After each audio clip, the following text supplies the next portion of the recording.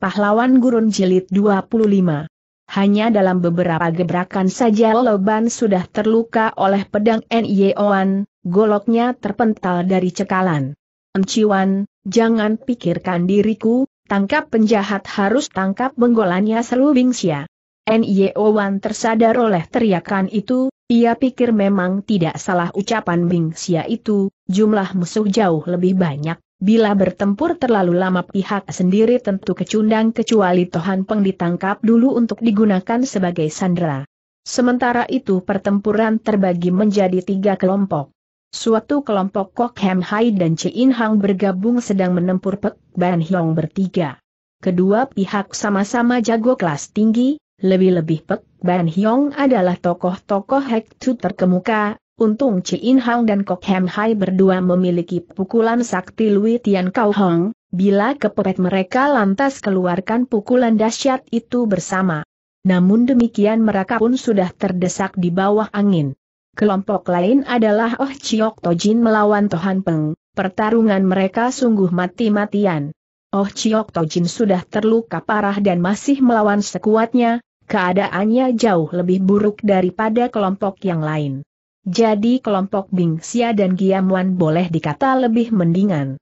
Mereka mendapat bantuan Nyeowan dan telah melukai pembantu utama yang Kian Pek, yaitu Loban, maka posisi mereka dari terancam kini telah berbalik di pihak unggul.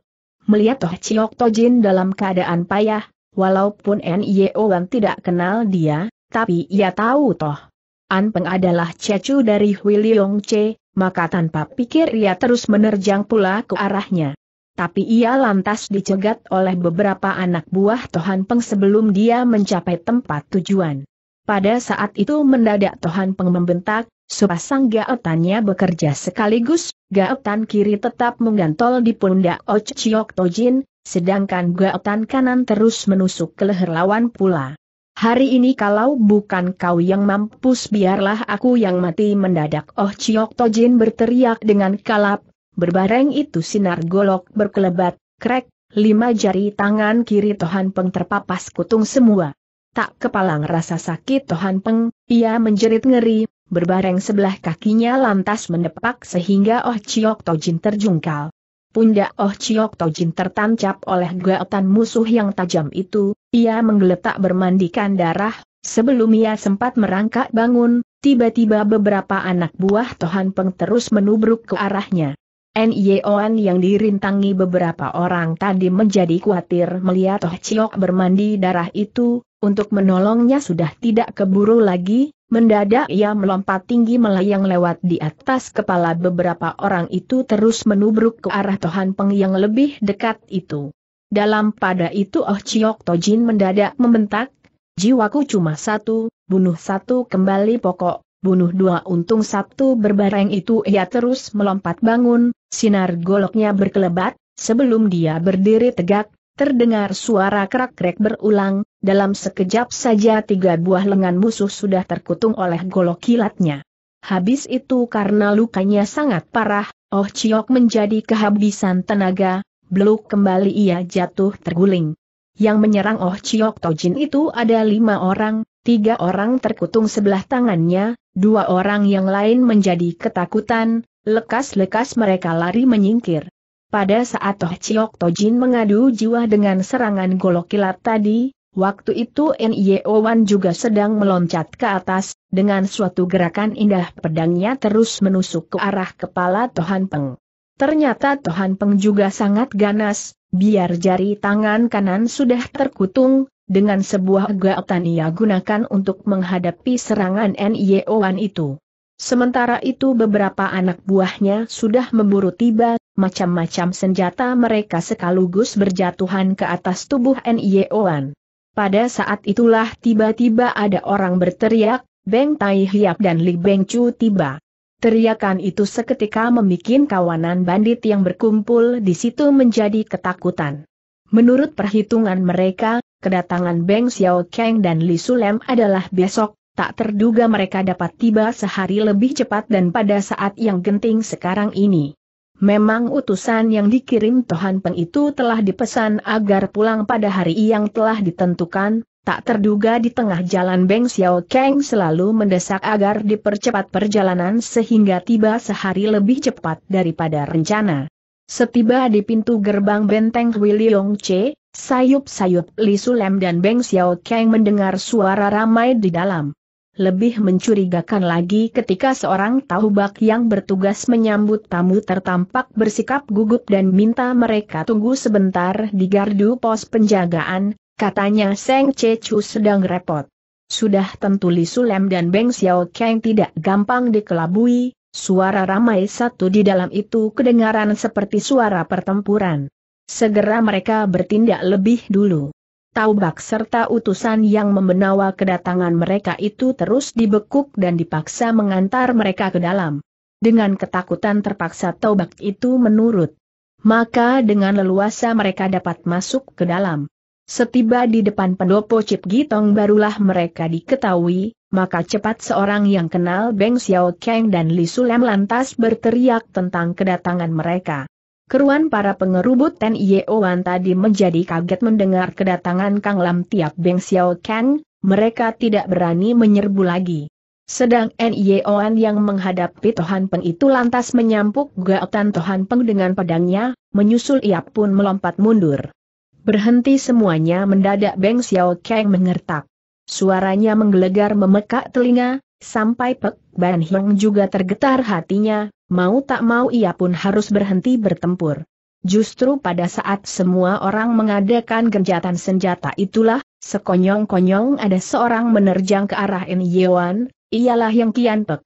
Rupanya yang Kian Pek tahu gelagat jelek, maka bermaksud menawan Yewan sebagai sandera, Sebab ia tahu kepandaian Nio Wan jauh lebih rendah daripada dia, pula nona itu diketahui sebagai bakal istri Li Sulem, ia yakin bila mana Nio Wan tertawan olehnya, tentu Li Sulem akan mati kutu dan tidak berani sembarangan bergerak. Ketika melihat kedatangan Li Sulem, hati Nio Wan merasa senang dan khawatir pula, ia menjadi lengah pula terhadap serangan musuh, ketika tiba-tiba mendengar angin tajam menyambar dari belakang dan lekas-lekas ia berpaling, namun sudah terlambat, tahu-tahu yang Kian Pek sudah menubruk tiba, pedangnya menahan batang pedang Nyeowan ke bawah, berbareng sebelah tangannya terus mencengkeram pergelangan tangan Nyeowan yang lain dengan Kim Najil Hoat. Untunglah pada saat yang Kian Pek menubruk ke arah Nyeowan, Bing Sia lantas berteriak memperingatkan si Nona. Hal mana segera menimbulkan perhatian Li Sulem, cepat ia pun memburu ke sana, pada saat yang Kian Pek berhasil memegang tangan Owen, pada saat itu pula Li Sulem lantas menotok hiatu bagian bahu orang. Betapapun tinggi kepandaian yang Kian Pek juga sukar mengelakkan totokan Li Sulem itu, Koh Chin Hiat di bahunya kena totokan dengan tepat sehingga tenaga sukar dikerahkan, hal mana memberi kesempatan Wan untuk meronta sehingga tangannya terlepas dari pegangan yang Kian Pek, menyusul pedangnya terus menusuk. Yang Kian Pek tidak berani menangkis, cepat ia melompat mundur dan berputar tubuh untuk melarikan diri. Hendak lari ke mana bentak Li Sulem. Baru saja ia hendak mengejar, pada saat itu juga Wan menoleh ke arahnya, kedua orang saling adu pandang, Seketika itu juga keduanya sama terkesima. Dalam pada itu Bing Xia sedang berseru pula, bangsat itu adalah putranya yang Tian Lui, ayahnya, aku tahu sahut Beng Xiao Kang. Berbareng itu ia terus melompat ke sana, jalan lari yang Kian Pek tahu-tahu kena dirintangi olehnya. Seret, segera yang Kian Pek menusuk dengan pedangnya. Hektometer, berani juga kau bergerak dengan aku Jeng Beng Xiao Kang. Segera ia mencentik dengan tenaga sakti jarinya, kereng, tepat sekali batang pedang lawan diselentiknya dan pedang terlepas dari cekalan serta menjelat ke atas.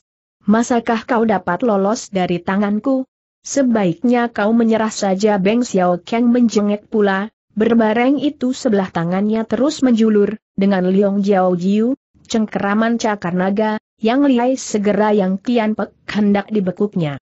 Tak terduga, pada saat yang sama tiba-tiba dari belakang ada dua orang menyerangnya berbareng. Betapa tajam panca indra Beng Xiao Kang, mana bisa dia disergap orang? Hanya saja Carol menyerang kedua penyergap itu teramat keji, Tempat yang mereka serang memaksa sasarannya terpaksa harus membela diri lebih dulu jika tidak mau binasa. Karena itu Beng Xiao Kang terpaksa melepaskan Yang Kian Pek dan perlu melayani serangan dari belakang itu. Gerakan kedua pihak sama-sama cepat luar biasa, ketika mendadak Beng Xiao Kang membalik tangannya ke belakang, tahu-tahu penyerang belakang yang sebelah kanan mengkatup kedua telapak tangannya, plak, pergelangan tangan Beng Xiao Kang terjepit olehnya. Menyusul penyerang sebelah kiri juga lantas menjotos ke muka Beng Xiao Kang. Menurut pengalaman Beng Xiao Kang, belum pernah ia mengalami keadaan yang runyam seperti sekarang ini, ia terkesiap sebab tak pernah menduga di tempat ini akan diketemukan dua lawan kelas wahid. Tanpa pikir lagi segera ia keluarkan tenaga sakti, Sekuatnya ia lemparkan orang yang menjepit tangannya itu sehingga menumbuk pada orang yang hendak menjotosnya itu, keruan kedua orang sama-sama roboh tergeletak, tanpa ayah lagi Beng Xiao Kang lantas mencengkeram pada tulang pundak kedua orang itu sehingga tak bisa berkutik lagi. Akan tetapi kesempatan itu, pun digunakan oleh Yang Kian Pe untuk kabur. Siapa kalian bentak Beng Xiao Kang sambil seret bangun kedua tawanannya. Tampaknya kalian tidak lemah, mengapa sudi menjadi budak bangsa Kim? Di sebelah sana Li Sulam dan N.I.O.An yang adu pandang tadi dan sama-sama terkesima, untuk sekian lamanya mereka tidak tahu care bagaimana harus bicara. Selang sejenak barulah Li Sulam seperti tersadar dan menyapa, adik Wan, benar-benar engkau adanya. Kau, kau dapat mengenali diriku sahut Ten Wan sambil menunduk. Ia dalam penyamaran sebagai lelaki, pula wajahnya telah diubah sedemikian rupa, tapi Li Sulem ternyata dapat mengenalinya, dalam hati ia menjadi girang dan terasa bahagia. Kita adalah sepasang merpati dari satu sarang, masakah aku bisa pangling padamu jawab Li Sulem. Adik Wan, ketika bertemu dengan Ciok Bok barulah aku mengetahui bahwa kau masih hidup di dunia ini, selama ini dengan susah payah aku telah mencari engkau. Kita adalah sepasang merpati dari satu sarang, adalah ucapan Li Sulem untuk mengucapkan isi hatinya setelah mereka bertunangan secara resmi, tapi waktu itu N.I.O.Wan menyangsikan kemurnian cinta Li Sulem padanya. Kini dari mulut Li Sulem sendiri kembali N.I.O.Wan mendengar ulangan ucapan itu, Seketika rasa dongkol dan menyesalnya terhadap pemuda itu serentak buyar seperti tertiup angin segar. Dalam pada itu Bing Xia telah menarik In Hang dan mendekati Li Sulem berdua, katanya dengan tersenyum penuh arti, Selamatlah engkau Lem dan Enciwan atas pertemuan kembali kalian berdua. Wajah Li Sulem menjadi merah, baru dia sadar bahwa di depan umum tidaklah layak bicara urusan pribadi secara begitu mesra dengan N.I.O.An, terutama mengingat tugasnya sekarang adalah Beng Chu dari pasukan pergerakan. Dengan tertawa Ci In Hang juga lantas berkata, aku minta maaf kepada kalian berdua, Li Beng Chu. Tempo hari aku meninggalkan Long Siasan tanpa pamit, tentu menimbulkan curiga kalian bukan? Harap Nona N.I.O. suka memaafkan juga ketika aku terpaksa harus bergebrak dengan kau pada malam itu. Ya, mengapa In Hang harus berbuat begitu, tentunya sekarang tidak perlu penjelasan lagi bukan? Bing Xia menambahkan.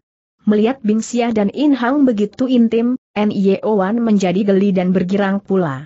Pikirnya, mereka adalah sepasang kekasih, aku benar-benar bodoh dan salah sangka dia mencintai engkau Lem, maka N.I.O.Wan lantas mengucapkan terima kasih juga atas bantuan In Hang pada malam itu sehingga terhindar dari ancaman Tu Liong. Ayahmu berhasil menawan dua orang, marilah kita memeriksanya, kata Li Sulem. Saat itu Beng Xiao Kang sedang menanyai kedua orang yang dibekutnya itu, tapi kedua tawanannya tetap berlagak bisu dan tulis saja, sama sekali mereka tidak mau membuka mulut. Ketika Li Sulem berempat mendekat ke sana, sementara itu Giam Wan juga sudah menemui pamannya, yaitu Beng Xiao Kang.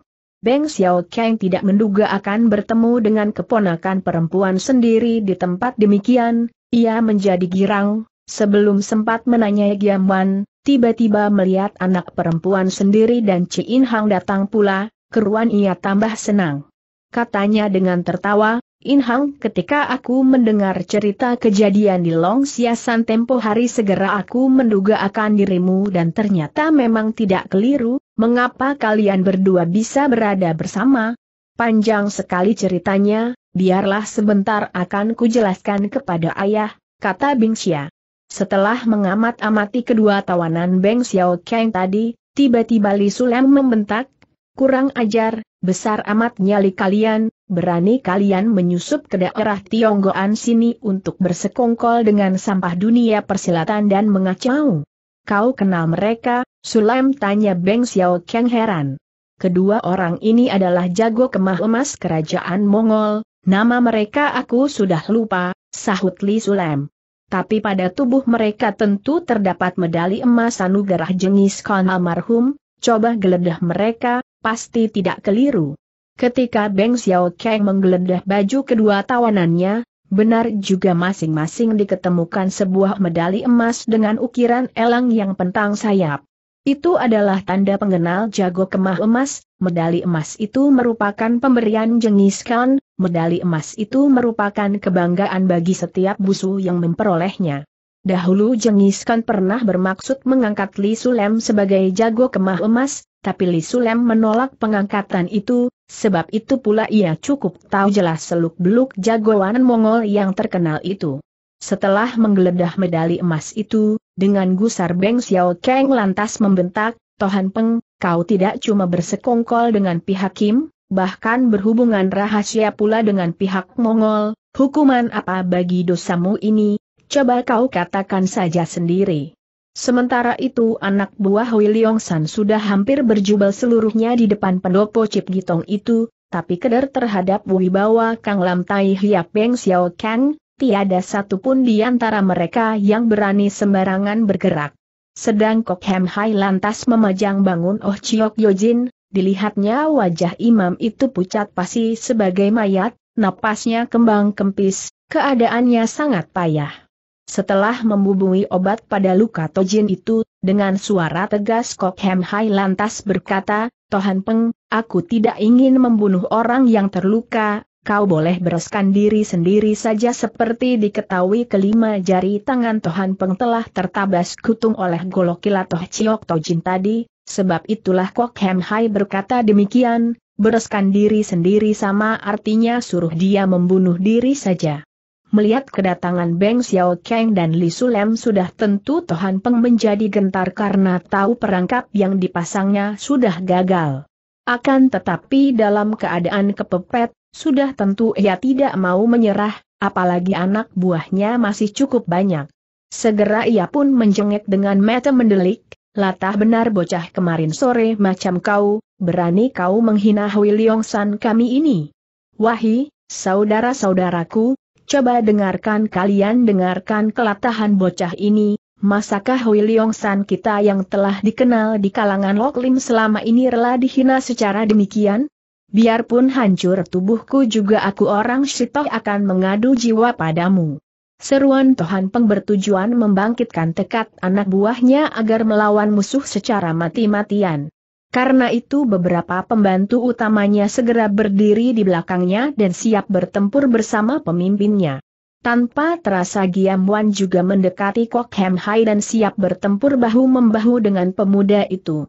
Siapakah dia tanya Beng Xiao Kang? Kok Su Heng ini adalah murid Heng Susyo kami, tutur In Hong. Oh, kiranya dia ini Kok Hem Hai, kata Xiao Kang. Ia memang sudah pernah dengar dari Bing Xia tentang hubungan Kok Hem Hai dengan Giam Wan. Dengan suara pelahan Hem Hai berkata kepada Giam Wan, Adik Wan, harap kau membalut luka Oh Chiok Tot yang, aku akan membalaskan sakit hatinya, seret, segera ia melolos pedangnya dan membentak, Hayo, siapa yang ingin mampus bersama Tuhan pengsilahkan maju, akan ku penuhi keinginannya. Nanti dulu tiba-tiba Beng Xiao Kang berseru, kawan-kawan dari Hui Leong San, nama baik kalian telah dicemarkan oleh Tohan Peng, dia biang keladinya dan tiada sangkut pautnya dengan kalian. Sebagai bukti boleh kalian lihat sendiri, kedua orang ini adalah Busu Mongol, orang yang lari adi juga putra yang Tian Lui dari kerajaan Kim, Tohan Peng sengaja bersekongkol dengan kedua pihak musuh, apakah kalian juga rela mengekor dan membudak kepada bangsa lain? Anak buah William San dan jago-jago yang diundang Tohan Peng memangnya gentar kepada wibawa Beng Xiao Kang, pula rahasia Tohan Peng yang berhubungan dengan musuh negara sudah terbongkar, sedikit banyak di antara mereka timbul rasa menyesal dan enggan menjual jiwa lagi bagi kepentingan Tohan Peng, bahkan mereka menyaksikan Tohan Peng tidak segan-segan buat mencelakai saudara angkat sendiri tadi, maka mereka merasa tiada harganya membantu Tohan Peng. Karena itu, secara diam-diam satu persatu sama mengeluyur pergi tanpa pamit. Keruan wajah Tohan Peng menjadi merah padam, dengan suara parau ia berkata kepada Pek Ban Hyong, Pek Lung Hyong, urusan sudah begini, rasanya tidak perlu kukatakan lebih banyak.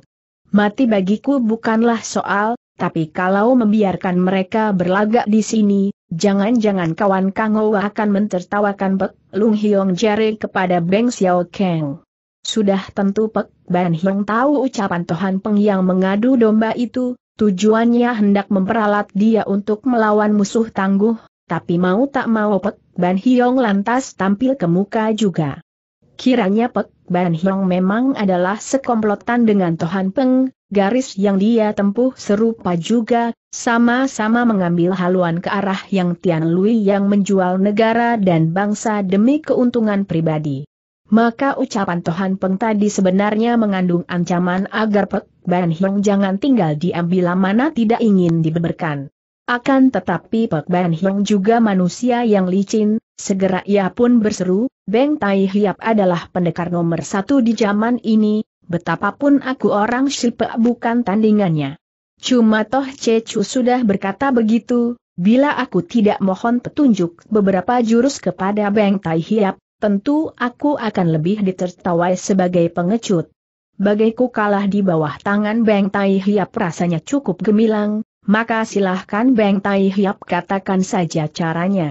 Pek Ban Hiong, Beng Xiao Kang lantas menanggapi, sudah kujelaskan persoalannya tadi, jika kau tetap hendak ikut masuk kubur bersama Tohan Peng dan benar-benar ingin bertanding dengan aku, maka aku pasti akan mengalahkan kau secara jujur supaya kau takluk lahir batin. Tadi kau sudah bertempur, sekiranya AU merasa kekurangan tenaga boleh kau pilih suatu hari kelak untuk bertanding dengan aku. Tapi hubunganku dengan Toh Cecu boleh dikata sehidup semati, aku tidak ingin cari selamat sendiri, kata Pek Ban Hiong pula. Jika kau ingin menunda pertandingan ini boleh saja, tapi hari ini kalian tidak boleh membuat susah lagi kepada Toh Cecu. Beng Xiao Kang menjadi curiga, mengapa Pek Ban Hiong ngotot membela Tohan Peng, padahal biasanya diketahui Pek Ban Hiong bukan orang yang punya jiwa setia kawan. Cuma sebelum ada bukti nyata, sukar untuk memastikan dia juga berkhianat seperti Tohan Peng, maka untuk sejenak ia menjadi ragu-ragu apakah harus bergebrak dengan Pek Ban Hiong atau tidak. Tiba-tiba Li Sulem berkata, sembilih ayam tidak perlu pakai golok, Beng Tai Hiap tidak sudi bergebrak dengan kau, biarlah aku saja yang melayani kau. Mestinya aku tidak suka bertanding dengan anak muda, tapi kau adalah Lok Lim Beng Chu, Bertanding dengan kau rasanya cukup berharga bagiku, tapi entah bagaimana dengan pendapat Beng Tai Hia pujar Ban Hiong. Beng Xiao Kang cukup kenal kepandaian Li Sulem, ia yakin pemuda itu takkan sampai kalah, apalagi Pek Ban Hiong tadi sudah bertempur, tenaganya tentu sudah berkurang. Sebelum Beng Xiao Kang buka bicara, Li Sulem lantas menambahkan pula, aneh, apa maksud ucapanmu itu memangnya dengan kedudukan Beng Tai Hiap masakah beliau akan ikut mengerubut dirimu? Ya, kalau Li Beng cuma membereskan kau, sudah tentu aku tidak perlu turun tangan lagi, kata Beng Xiao Kang kemudian. Justru ucapan Beng Xiao Kang inilah yang dikehendaki Pek Ban Hiong, ia pikir asal Beng Xiao Kang tidak ikut campur, masakah aku tidak sanggup mengalahkan seorang anak muda? Baik, Seorang laki-laki sejati harus dapat pegang janji. Jika aku kalah akan kupasrahkan nasibku kepada kalian. Tapi bagaimana kalau Li Beng Chu kalah? Hektometer, boleh terserah apa yang kau inginkan, jika aku kalah, tidak nanti aku mungkir janji, sahut Sulem mendengus. Bagus, jika kau kalah, maka urusan di San sini kalian dilarang ikut campur dan harus lekas-lekas pergi dari sini, kata Pek Ban Hiong. Baik, asal dalam seratus gebrakan kau mampu mengalahkan aku, segera kami akan pergi dari sini dan Tuhan Peng akan kami ampuni pula, jawab Sulem. Beng Tai Hiap, harap engkau menjadi saksi sekalian. Walaupun dalam hati Beng Xiao Kang merasa Li Sulem terlalu pandang enteng musuhnya, tapi tampaknya Li Sulem cukup yakin akan dapat mengatasi lawannya, maka ia pun mengangguk menyatakan setuju. Dengan girang Pek Ban Hiong lantas berkata pula, soal kalah menang juga tidak perlu dibatasi dalam seratus jurus. Nah, silahkan Li Beng Chu mulai saja. Tiba-tiba Nyeowan mendekati Sulem dan membisikinya, engkau Lem, gunakanlah pedangku ini, ia sudah menyaksikan kepandaian Pak Ban Hiong tadi, ia khawatir Li Sulem sukar mengalahkan lawannya, maka ingin meminjamkan pedang pusaka pemberian Putri Ming Hui yang tajam itu. Tak terduga Li Sulem telah menolak tawaran itu, bahkan pedang sendiri pun dia tanggalkan dan tidak dipakai. Katanya, Aku ingin pertandingan secara adil, kalau dia tidak memakai senjata, maka aku pun melayani dia dengan tangan kosong. Padahal Pek Ban Hiong meyakinkan ilmu pukulan Bian Chiang yang hebat, kekuatan pukulannya sanggup menghancurkan batu, sekarang Li Sulem ingin bertanding ilmu pukulan dengan dia, keruan inilah yang dia harapkan. Maka dengan bergelak tertawa berkatalah Pek Ban Hiong, Li Bengcu benar-benar seorang ksatria muda yang terpuji, pantas kawan-kawan Lok Lim mendukung sebagai Bengcu. Baiklah silahkan Li Bengcu mulai memberi petunjuk. Yang muda selayaknya mengalah kepada yang tua, silahkan kau mulai lebih dulu, kata Li Sulem. Hal ini lebih-lebih kebetulan bagi Pek Ban Hiong, segera ia menjawab, baik, karena Li Bengcu sedemikian rendah hati, Terpaksa aku yang tua bangka ini menurut saja, baru habis ucapannya, segera ia melangkah maju terus menghantam. Bagus sambut Li Sulem sambil mengegus ke samping, berbareng tangannya lantas memutar balik untuk balas menghantam Koh Chin Hiat di bahu kiri Pek Ban Hiong. Serangan ini cukup ganas untuk memaksa lawan harus menyelamatkan diri lebih dulu jika tidak ingin tulang lengan patah. Diam-diam Pek Ban Hiong terkejut dan mengakui ketangkasan Li Sulem, pantas pemuda itu sudah diangkat sebagai Lok Lim Beng Chu, nyatanya memang punya kepandaian sejati.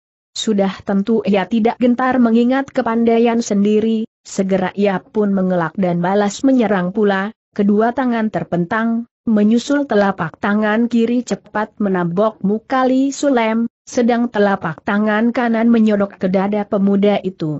Serangan ini disebut Xiang Liong Juthei, sepasang naga keluar dari lautan. Tapi semakin ganas serangan lawan, pertahanan Li Sulem juga tambah hebat, dalam sekejap saja ia sudah menghindarkan diri, kedua tangannya merangkap ke depan untuk segera ditangkiskan dengan gerak tipu Tui Jongbong Hoat, buka jendela tampak rembulan, dengan manis ia patahkan serangan lawan itu. Begitulah serangan dibalas dengan serangan, pertarungan kedua orang makin lama makin seru. Setiap gerak pukulan Pek Ban Hiong selalu membawa sambaran angin yang keras sehingga para penonton terpaksa harus melangkah mundur. Sebaliknya Li Sulam juga tidak kalah hebatnya, dia melangah dengan kuda-kuda yang kuat, menghantam dengan arah yang tepat, tiba-tiba pakai kepalan, lain saat berubah menjadi telapak tangan, serangannya bagus, gerakannya aneh. Pada detik paling sengit, Kedua sosok bayangan tampak berputar-putar dengan cepat sehingga sukar dibedakan siapa Pek Ban Hiong dan siapa Li Sulem. Hati Beng Xiao Kang baru merasa lega, diam-diam ia mengakui Tatmo Chiang Hoat ajaran Xiao Lim si asli memang luar biasa. Kiranya yang dimainkan Li Sulem adalah Hok Hao Ukun, ilmu pukulan penakluk harimau, dan Lohon Kun, ilmu pukulan Lohon, Gabungan dari kedua ilmu pukulan itu merupakan Tatmo Chiang Hoat yang lengkap, yaitu ilmu pukulan ciptaan Tatmo Chou Su, itu cikal bakal Xiao Lim Si. Cuma sayang, Tatmo Chiang Hoat yang diyakinkan Li Sulem belum mencapai tingkatan yang paling sempurna, tapi ketika dia datang tadi ia telah menyaksikan Pek Ban Hyong menggunakan ilmu pukulannya melawan Tian Lui Kang dari In Hang dan Kok Hem Hai, tampaknya keadaan sudah payah, tenaga sudah payah, maka Sulem yakin bila tenaga dalam sendiri dapat bertahan, dalam hal ilmu pukulan tentu juga sanggup mengalahkan lawan itu. Sebab itulah tadi ia berani menyatakan akan mengalahkan Pek Ban Hyong dalam 100 gebrakan. Benar juga, selewatnya 50 gebrakan, karena serangan-serangan dahsyat selalu gagal. Lamban laun tenaga Pek Ban Hyong mulai berkurang, kelemahan ini segera digunakan Li Sulem untuk melancarkan serangan yang lebih gencar. Sebelum penonton mengetahui posisi kedua orang yang bertanding itu, Pek Ban Hyong sendiri cukup paham bila mana pertarungan berlangsung terus, bukan mustahil dalam seratus gebrakan dirinya akan benar kecundang di tangan anak muda ini. Karena itu Pek Ban Hyong menjadi bimbang. Untuk minta damai sudah tentu malu, apalagi untuk ini dia masih harus menghadapi Tuhan Peng yang tidak mungkin membiarkan dia cari selamat sendiri. Maka bila terpaksa Tuhan Peng harus diseret agar mati bersama.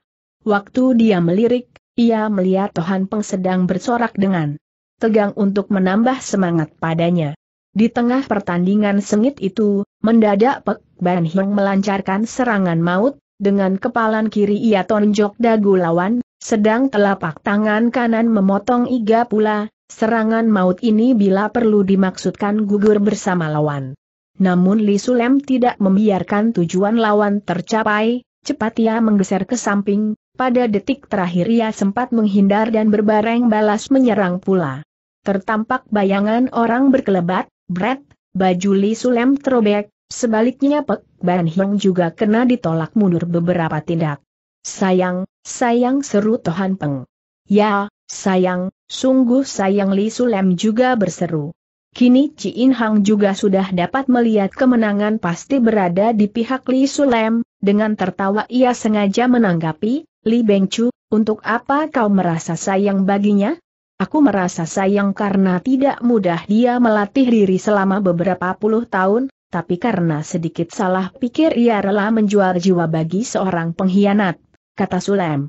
Nyata ia tidak tahu bahwa Pek Ban Hyong sebenarnya adalah satu komplotan bersama Tohan Peng, maka ucapannya itu bermaksud menyadarkan lawannya. Mendengar itu, mendadak tergerak pikiran Pek Ban Hyong, segera ia mendapat akal. Maka ketika kedua pihak serang menyerang pula, Pek Ban Hyong berbuat seperti bertarung mati-matian dan menerjang dengan kalap. Melihat begitu, Tohan Peng sangat senang dan anggap Pek Ban Hyong cukup konsekuen sebagai kawan. Tak terduga, belum sempat ia berpikir lagi, sekonyong-konyong Pek Ban Hyong memutar tubuh terus menubruk ke arahnya, tanpa ampun lantas menghantam ke atas kepalanya. Serangan kilat yang datangnya mendadak ini, jangankan Tohan Peng tidak menduga sama sekali, Li Sulam juga tercengang, sebab ia sendiri sedang bertahan dan mendadak Pek Ban Hyong mengalihkan sasaran serangannya, dengan sendirinya Sulem tidak sempat mengejar. Pukulan Pek Ban Hyong dahsyatnya dapat menghancurkan batu, maka Tuhan Pengjangan harap bisa hidup terkena pukulannya itu, kontan kepalanya pecah dan jiwa melayang. Padahal belum lama berselang Pek Ban Hyong baru menyatakan rasa setia kawannya kepada Tuhan Peng dan rela bertempur untuk membelanya, tapi sekarang dia sendiri tak terluka apa-apa, sebaliknya Tohan Peng malah dibunuh olehnya sendiri. Eh, Pek Lo Xian Sing, mengapa kau tidak bicara lagi tentang setia kawan orang Kangou jengek Ci In Hong? Tapi Pek Ban Hyong tidak menjawabnya, ia terus menghadap kepada Li Sulam dan memberi hormat sambil berkata, banyak terima kasih atas petua Li Bengcu tadi sungguh aku merasa malu terhadap perbuatanku sendiri. Syukurlah jika engkau mau sadar dalam waktu singkat, sahut Sulem dengan hambar, agaknya ia pun ragu-ragu terhadap tindakan Pek Ban Hyong itu. Huh, sadar apa kok Hem Hai ikut menjengek. Yang pasti dia merasa tidak mampu menandingi kau, dia terpaksa berbuat begitu dengan harapan kau dapat mengampuni dia. Tapi dengan lagak penasaran Pek Ban Hyong menjawab dengan tegas, biarpun sudah tua bangka, rasanya orang Shipek belum lagi pikun. Bahwasanya Tuhan pengerela membudak kepada musuh, masakah aku mesti bicara tentang peraturan Kangou dengan dia? Tadi aku mestinya hendak pergi saja dari sini, tapi tiba-tiba timbul pikiranku buat belajar kenal dengan kepandaian Beng Chu, aku tahu Beng Tai Hia pasti tidak sudi bergebrak sendiri dengan aku. Terus terang, semula aku ada meragukan kepandaian Beng Chu mengingat usianya yang masih muda, sebenarnya aku penasaran atas kedudukanmu sebagai Loklim Beng Chu. Tapi seolah kuda saking kepandaian sejati Beng Chu dikeluarkan barulah aku tahu bahwa Li Beng Chu memang tidak bernama kosong dan sekarang aku benar-benar menyerah lahir batin. Kata-kata Pek Ban Hyong itu sebenarnya kurang beralasan, tapi Li Sulem selalu menghadapi orang dengan segala kejujuran, ia pikir kalau orang mau kembali ke jalan yang benar, apa salahnya kalau aku memberi kesempatan padanya. Karena itu ia lantas berkata, syukurlah kalau Peklung Hiong sudah menyadari kesalahan telah lampau. Sekarang bolehlah kau pergi saja, hendaknya kau dapat hidup berguna bagi negara dan bangsa. Melihat Pek Ban Hyong dibebaskan begitu saja, Oh Chiok Tojin menjadi penasaran katanya kepada Li Sulem, Li Bengcu, tua bangka ini cuma manis di mulut, tapi berhati busuk, dia pasti bukan manusia baik-baik, mengapa kau melepaskan dia? Akan tetapi Li Sulem lantas menghiburnya, kalau orang tersebut mau kembali ke jalan yang benar, apa salahnya kalau kita memberi kesempatan padanya untuk memperbaiki kesalahannya, demikian Sulem menyatakan pendapatnya. Sebenarnya Beng Xiao Kang juga tidak setuju melepaskan Pek Ban Hyong, tapi ia ingin menghargai kepemimpinan Li Sulem, ia pun mempunyai perhitungan sendiri, ia yakin sebabnya Pek Ban Hyong mendadak membinasakan Tohan Peng tentu ada rahasia yang terpendam dan pasti tidak begitu sederhana sebagai alasan yang dikemukakannya. Maka bila Pek Ban Hyong dilepaskan, kelak masih dapat diselidiki gerak-geriknya dan bukan mustahil akan memperoleh hasil di luar dugaan. Kemudian Li Sulem lantas berseru kepada anak buah Hui Leong San agar memilih ingin membubarkan diri atau bergabung kepada Long Siasan dan berjuang bersama-sama bagi negara. Tohan Peng sudah mati, begitu juga Lo Chun telah binasa oleh bantingan Kok Hem Hai tadi, maka Sam Cheng Chuk Kang Sim lantas tampil ke muka dan menyatakan segenap anak buah William San siap menerima perintah dari Beng Chu yang baru itu. Dengan girang Li Sulem menerima penggabungan Kang Sim dan anak buahnya, sungguh tak diduganya bahwa urusan bisa berjalan dengan begitu lancar. Sementara Kang Sim lantas perintahkan anak buahnya menyiapkan perjamuan besar, sedang Kok Hem Hai, Chi In Hang, Giam Wan dan lain-lain baru sempat bicara dengan Beng Xiao Kang dan Li Sulam. Waktu itu N.I.O. Wan juga telah mengembalikan wajah aslinya dari penyamarannya tadi. Melihat Li Sulam bersua kembali di dengan bakal istrinya, sedang anak perempuan sendiri tampaknya juga begitu mesra dengan Chi In Hong, diam-diam Beng Xiao Kang merasa puas bila dapat memungut anak menantu satria muda sebagai Chi In Hong itu. Ketika Bing Xia memberitahukan Seng Ayah tentang hubungan Kok Hem Hai dengan Giam Wan, dengan tertawa Beng Xiao Kang berkata, Haha, kalian benar-benar pasangan yang sangat setimpal, aku pasti akan menjadi comblang bagi kalian dan bicara dengan orang tuamu, jangan khawatir, kemudian Li Sulem juga menyuruh Kang Sim mengurung kedua busu bangsa Mongol tadi si suatu kamar yang baik dan diberi obat serta daharan secukupnya. Engkoh Lem, kau tidak bunuh mereka, mengapa malah memberi pelayanan begitu baik kepada mereka ujaran Yeowan dengan penasaran. Apakah kau sudah lupa penderitaan kita ketika berada di daerah Mongol? Karena kita sudah kenyang menderita atas perbuatan mereka, maka aku tidak ingin membalas dendam terhadap diri mereka, sahut Li Sulem dengan tertawa. Aneh, mengapa begitu tanyayan Yeowan? Kau banyak membaca, Tentunya kau paham ajaran Hong Hu Chu yang menyatakan apa yang engkau tidak ingin perbuat orang atas dirimu, janganlah engkau perlakukan terhadap orang lain, akan tetapi mereka adalah musuh kita, ujaran Yeoan. Tawanan yang tidak bersenjata tak dapat dianggap sebagai musuh lagi, kata Li Sulem. Tawanan dan musuh yang berhadapan dengan kita dengan senjata terhunus harus dibedakan bukan? Apalagi yang membuat kita susah waktu di Mongol ada biang keladinya sendiri. Piutang kita ini tak dapat kita perhitungkan atas diri mereka ini. Bukan mustahil dengan kelonggaran kita terhadap kaum tawanan jelak kita akan dapat memetik hasilnya. Nyoan dapat memahami maksud Li Sulem itu katanya, ya, benar, dari mulut mereka mungkin kita akan mendapat berita tentang keadaan musuh. Ya, itulah yang kita harapkan, kata Li Sulem. Tapi kalau mereka tetap tutup mulut, kita akan tetap memperlakukan mereka sebagai tawanan yang layak. Mendengar itu, setiap orang sama mengakui budi luhur dan kebijaksanaan Li Sulem yang tidak malu sebagai bengcu mereka itu. Selesai perjamuan, Li Sulem sendirian lantas mendatangi kamar tahanan kedua busu Mongol.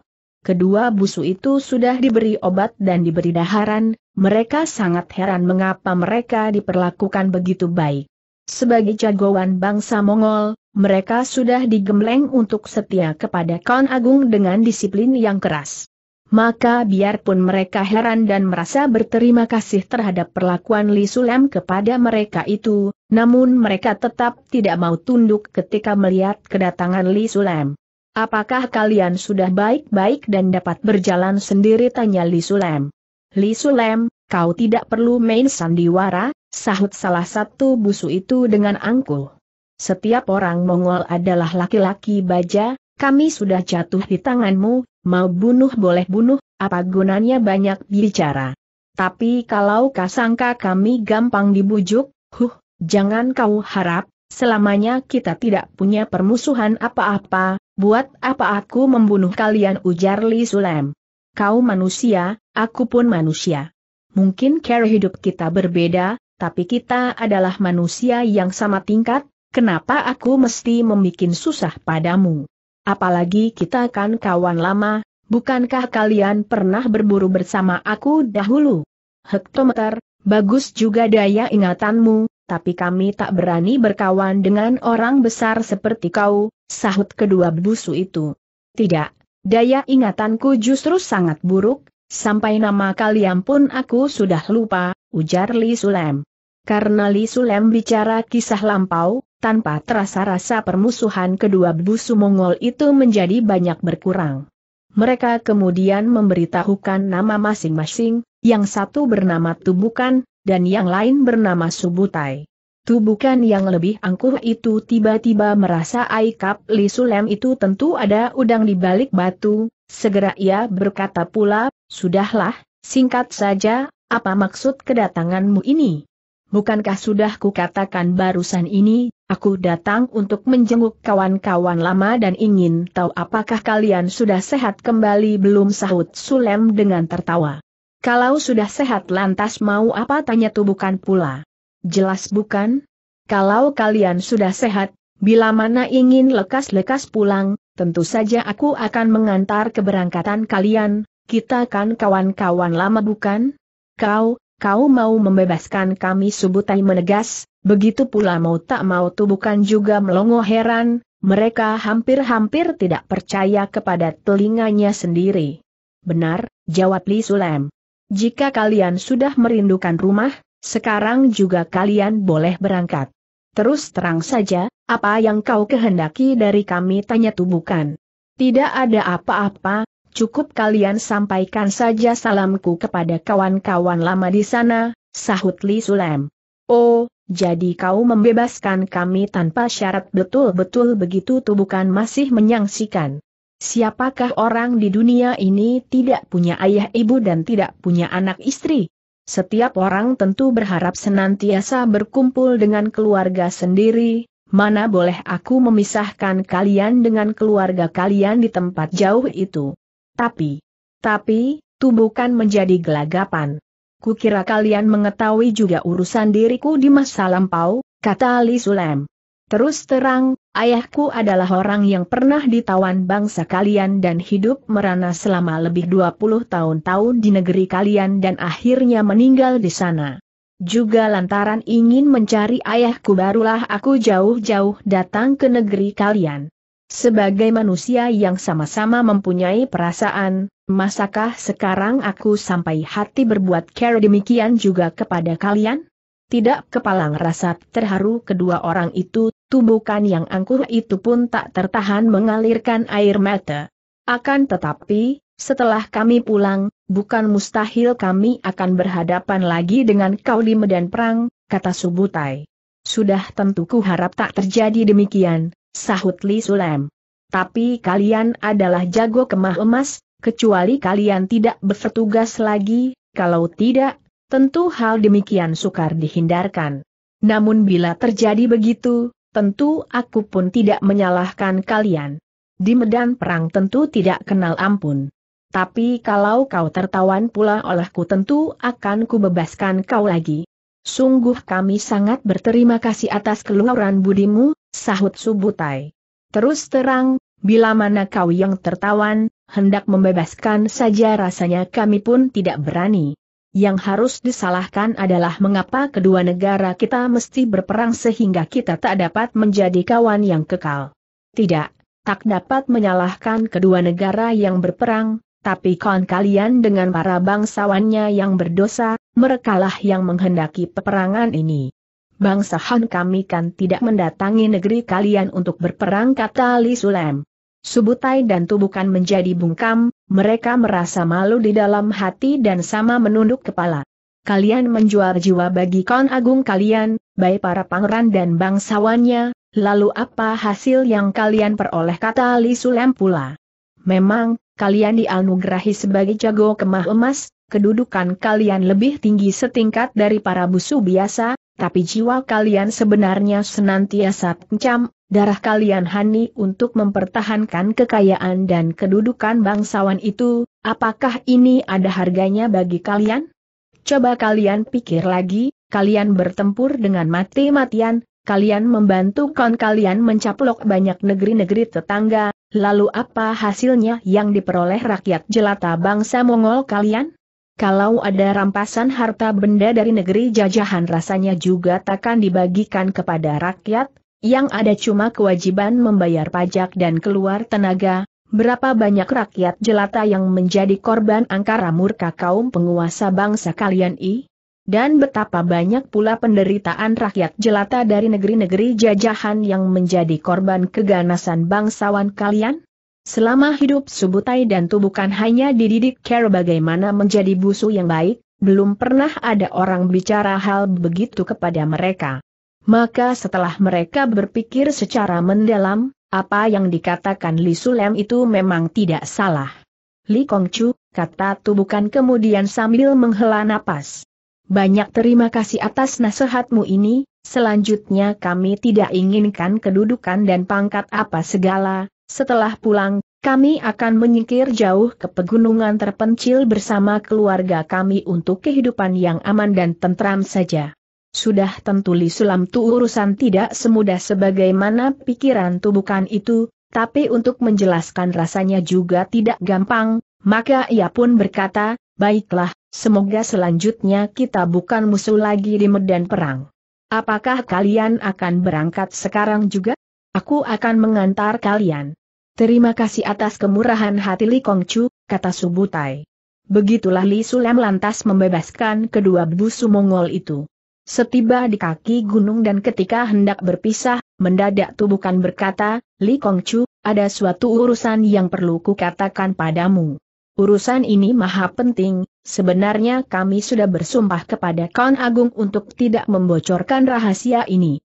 Jika begitu, sebaiknya jangan kau katakan saja, ujar Li Sulem. Tidak, Li Kongcu, kata Tubukan. Biarpun kami sudah bersumpah, tapi engkau terlalu baik kepada kami, jika tidak kami beritahukan padamu berarti kami tidak kenal budi kebaikanmu, oh, apakah barangkali urusan yang menyangkut diriku tanya Li Sulem. Benar, jawab Tubukan. Ai, Li Kongcu benar-benar seorang yang terlalu baik hati. Tua Bangka Pek Ban Hiong itu sebenarnya jangan kau lepaskan. Sebab apa kata Li Sulem? Ketahuilah bahwa musuh besarmu justru berada di rumahnya, tutur tubukan. Kau maksudkan bangsat Sia Tiong itu Li Sulem menegas dengan girang tercampur kejut. Li Kongcu, tutur tubukan. Tentang penderitaan ayahmu akibat dianiaya Sia Tiong itu sedikit. Banyak pernah kami dengar. Chuan Putri pernah mohon kepada Pangeran keempat dan Kon Agung agar Sia Tiong dihukum mati, cuma sayang permohonannya tidak dikabulkan, sebaliknya Kon malah mempercayai dia dan memberi tugas penting padanya. Kiranya sesudah jengis Kon wafat, Putri Minghawi pernah menggugat dosa Sia Tiong itu di hadapan Dulai yang waktu itu menjabat Mangku Bumi, yaitu sebelum Mogotai dipilih menjadi Kon Agung yang baru. Waktu Ming Hui menggugat, Tubukan dan Subutai adalah jago-jago kemah emas. Dengan sendirinya mereka berada di situ. Li Sulem rada heran mendengar erita itu, katanya segera, jika demikian, jadi bangsat Sia Tiong itu datang ke Tionggoan bersama-sama kalian? Bukankah dia menjabat wakil panglima besar sebagai pembantu Pangeran Tinkok, mengapa kan memberi tugas lain padanya? Begini, tutur Subutai, kan kami ingin menarik beberapa tokoh-tokoh Kangou atau jago-jago Lok Limbang Sahan untuk menjadi pembantu di sini bila mana pasukan Mongol kami mulai menyerbu ke sini. Untuk tugas mencari orang-orang demikian sudah tentu Sia Tiong adalah pilihan yang paling cocok, hektometer, kiranya begitu, jengek Li Sulem. Memangnya Sia Tiong adalah pengkhianat, pantaskan kalian sengaja memperalat dia untuk mencari pengkhianat yang lain. Semula Sia Tiong bermaksud sembunyi di kediaman yang Tian Lui, tutur Subutai pula. Tapi khawatir diketahui lawan yang Tian Lui, pula kurang leluasa tinggal di kota Raja Kim itu, kemudian Pek Ban Hyong yang dia datangi. Pek Ban Hyong memang sudah ada hubungan gelap dengan Yang Tian Lui sehingga Sia Tiong juga sudah kenal dia, karena itu segala sesuatu berjalan dengan lancar. Kami berdua ditugaskan menjadi pembantu Sia Tiong dengan tiga macam tugas, pertama kami harus mencari tahu jejak Putri Ming Hui, kedua, mencari jalan untuk membunuh kau, kalau engkau dapat ditawan kembali ke Mongol lebih-lebih diharapkan. Ketiga, kami harus mengawasi gerak-gerik Sia Tiong. Sudah tentu tugas terakhir kami ini di luar tahu Sia Tiong sendiri. Orang ini banyak tipu akalnya, hendaknya Li Kongcu hati-hati menghadapi dia. Li Sulem mengucapkan banyak terima kasih atas keterangan kedua orang itu.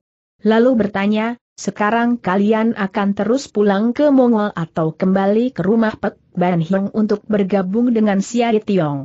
Dengan gemas tubukan menjawab, kami tidak ingin menjual jiwa lagi bagi Kan, siapa sudi mengekor lagi kepada manusia rendah Shis yaitu? Tapi Subutai yang lebih cerdik segera timbul suatu gagasan, katanya dengan tertawa, arah kita untuk pulang harus melewati tempat Pek Ban Hyong, kebetulan kita dapat mampir ke sana, kalau Sia Tiong tidak mampus, kita sendiri yang akan celaka. Seketika tubuhkan sadar, serunya, benar, tentang tertawanya kita di sini tentu Pek Ban Hyong akan memberitahukannya kepada Sia Tiong, bila dia kembali ke Mongol dan lapor kepada Khan, maka buntu pula jalan kita untuk pulang ke sana. Tapi dia ada di rumah Pek Ban Hyong, untuk membunuhnya tidaklah susah, tapi care bagaimana kita harus menghadapi Pek Ban Hyong yang lihai itu. Kita bukan tandingan Pek Ban Hyong, tapi dia juga bukan tandingan Li Kongcu, kata Subutai dengan tertawa. Beberapa hari lagi kita tentu akan berjumpa pula dengan Li Kongcu di rumah Pek Ban Hyong, entah betul tidak terkaanku ini. Dengan tersenyum Sulam menjawab, untuk membalas sakit hati aku tidak berani membuat repot kalian. Tapi kalau kalian suka membantu di rumah Pek Ban Hyong, tentu saja akan kuterima dengan baik.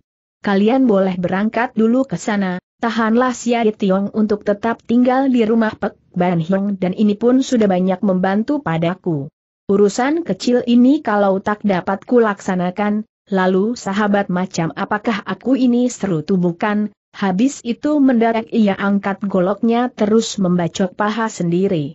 Li Sulem terkejut dan cepat mencegahnya. Walaupun tangan tu bukan keburu dipegang Li Sulem, tapi tidak urung metu goloknya sudah melukai pahanya sehingga darah bercucuran. Tidak menderita sedikit luka, mana Sia Tiong mau percaya bahwa kami dapat lolos dari sini dengan membunuh penjaga, kata tu bukan. barulah Li Sulem tahu maksud tubukan, ia menjadi terharu, katanya, kalian benar-benar kawan sejati, terimalah hormatku ini. Akan tetapi tubukan dan subutai lekas-lekas membalas hormat dan saling mengucapkan kata-kata rendah hati, setelah berjanji untuk bertemu di rumah Pek Ban Hiong dalam beberapa hari lagi, lalu berpisahlah mereka.